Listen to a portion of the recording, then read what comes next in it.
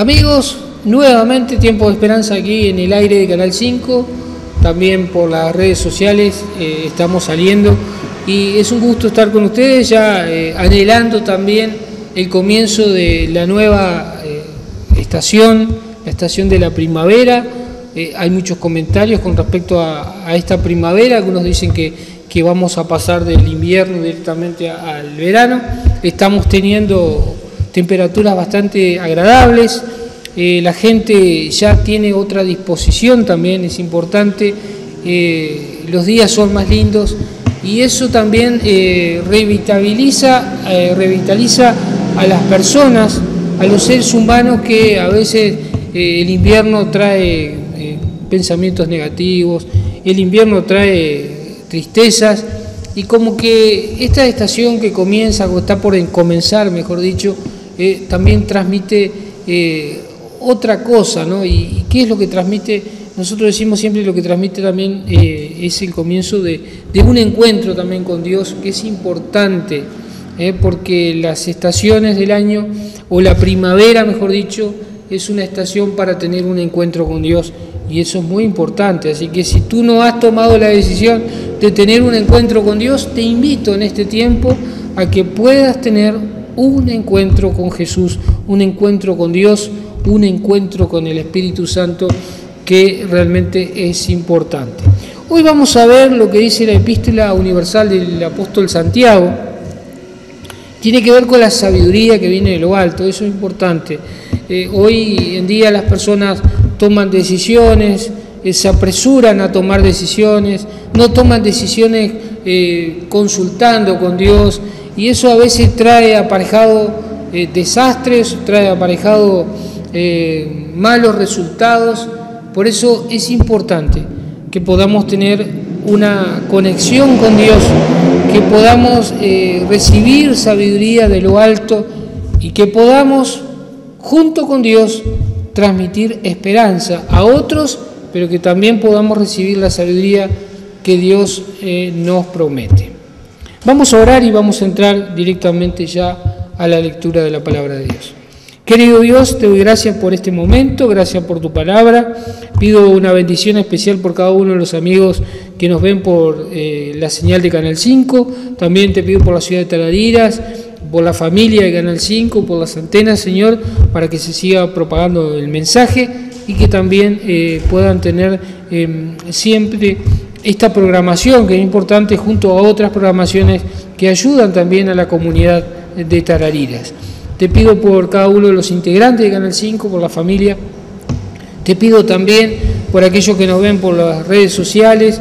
Te pido por los enfermos, te pido por aquellas personas que están internadas, te pido por los que están sufriendo eh, por enfermedades, por pérdida de seres queridos, también aquellos que están con problemas eh, familiares, que tal vez que hay disolución de parte de las parejas, los matrimonios, y también por aquellos que niños que también quizás estén desamparados. Te pido por una protección especial por los niños, como dijo Jesús, que vengan los niños a mí, porque de ellos es el reino de los cielos, por lo tanto, eh, estos los niños que son tan vulnerables, Señor, que tú los puedas proteger de todo mal y por sobre todo de personas malas y que puedan hacerle daño también.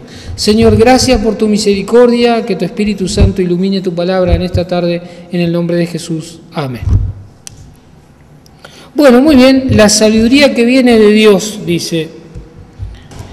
Hermanos, dice el versículo 1 de Santiago, tened por sumo gozo cuando os hacéis en diversas pruebas, sabiendo que la prueba de vuestra fe, versículo 3, produce paciencia mas tenga la paciencia su obra completa para que seáis perfectos y cabales sin que os falte cosa alguna. Y si alguno de vosotros, versículo 5, tiene falta de sabiduría, pídala a Dios, el cual da a todos abundantemente y sin reproche, y le será dada. Pero pida con fe, no dudando nada porque el que duda es semejante a la onda del mar que es arrastrada por el viento y echada de una parte a otra. No piense, pues, quien tal haga, que recibirá cosa alguna del Señor. El hombre de doble ánimo es inconstante en todos sus caminos. El hermano que es de humilde condición, gloríese en su exaltación. Pero el que es rico en su humillación, porque él pasará como la flor de la hierba. Porque cuando sale el sol con calor abrasador, la hierba se seca, su flor se cae y perece su hermosa apariencia. Así también se marchitará el rico en todas sus empresas. Si alguno de vosotros tiene falta de sabiduría, versículo 5, pídala a Dios, el cual da a todos abundantemente y sin reproche y le será dada. Cuando tú tengas un problema, una dificultad o tengas que afrontar un problema familiar, tienes que pedirle a Dios sabiduría, porque Él te la va a dar realmente, porque acá te promete. A veces podemos tener sabiduría natural, inteligencia natural, para resolver los problemas de la vida, pero a veces necesitamos a nuestro socio que es Dios para poder resolver esos problemas. Así que si tú no tienes sabiduría, a veces a todos nos falta sabiduría. ¿Por qué? Porque todos somos seres humanos, todos somos pecadores, todos somos imperfectos y por lo tanto necesitamos la sabiduría para resolver un problema, una dificultad. Y Dios nos dará esa sabiduría y realmente nos traerá la solución por medio de su Espíritu Santo.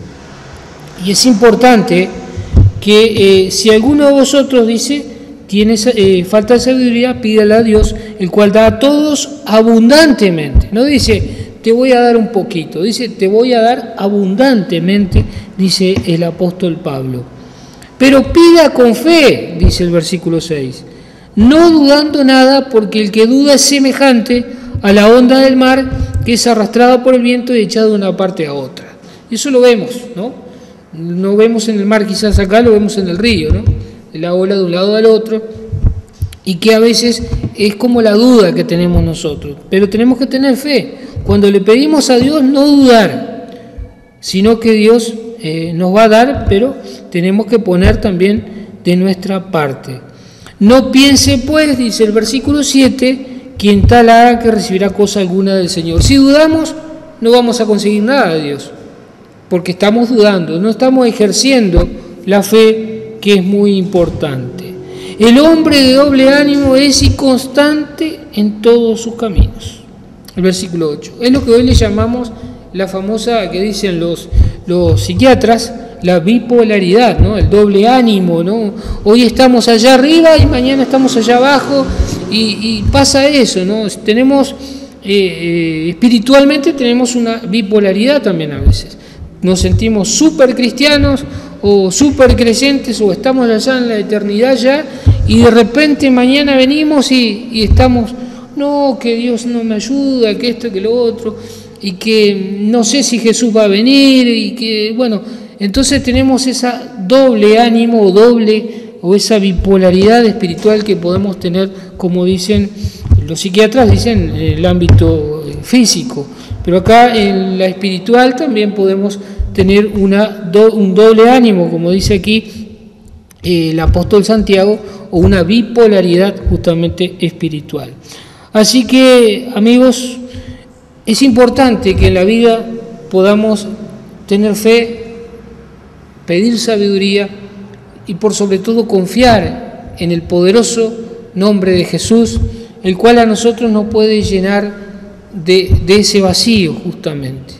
Así que no seamos personas de doble ánimo, inconstantes, sino que ejerzamos la fe, que pidamos a Dios la sabiduría necesaria y que por sobre todo podamos tener nuestra vista más allá de nuestros ojos, sino en los cielos, en el cual ha de venir Jesús a buscar a su pueblo, a su iglesia y a llevarnos al cielo.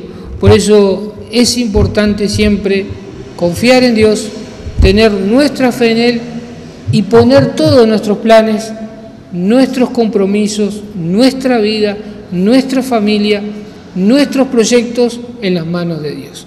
Que Dios te bendiga y si Dios quiere nos encontraremos la semana próxima con otro mensaje más para que podamos reflexionar en la palabra de Dios. Si te quieres comunicar, 091-215-324 tenemos eh, consejería espiritual, tenemos materiales cristianos, estudios bíblicos, solicítalos. Lo que tú quieras, envía un mensaje al WhatsApp 091-215-324 y podrás comunicarte, ya sea por oración, por materiales cristianos, por consejería espiritual, nosotros estamos abiertos. Te invito también a nuestras actividades, principalmente la actividad del sábado, estamos reuniéndonos con la escuela bíblica 9.30, escuela sabática, y después de la escuela sabática, de la escuela bíblica, tenemos un mensaje de la palabra de Dios por medio del culto divino.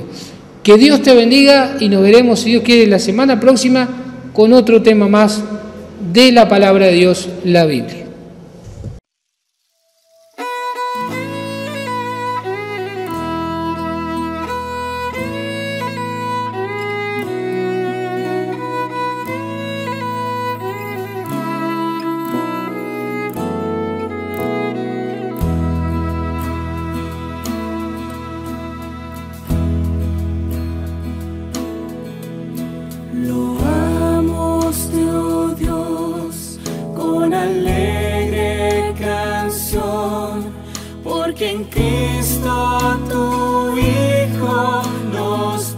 step